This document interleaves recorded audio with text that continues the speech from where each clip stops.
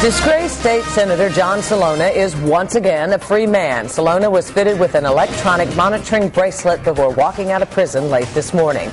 Now, Target 12 has learned new details on where Celona landed a job that helped him score his early release. Target 12 investigator Tim White is live now with details, including exclusive video of Celona's first steps to freedom.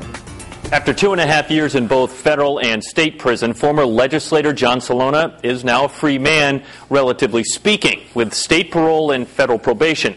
Celona will still be under the watchful eye of authorities for two years. This is exclusive Target 12 video of John Celona stepping out of the minimum security lockup at the ACI in Cranston. Celona wore a Red Sox championship hat from 2004, the same year he stepped down from the state senate amid allegations that ultimately brought him down. About an hour later, Celona emerges from another building at the ACI clutching the monitoring system that will keep watch over him for the next year. Senator, anything to say to the people of Rhode Island?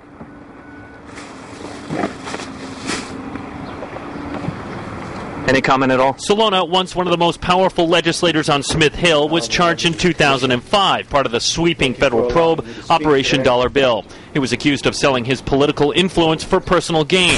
Target 12 has learned Celona, the former chairman of the Senate Corporations Committee, landed a job here at Atlantic Golf Centers in Attleboro. The job required by the parole board to gain early release. He starts on Monday. Celona pleaded guilty in 2005, pledging to cooperate with investigators.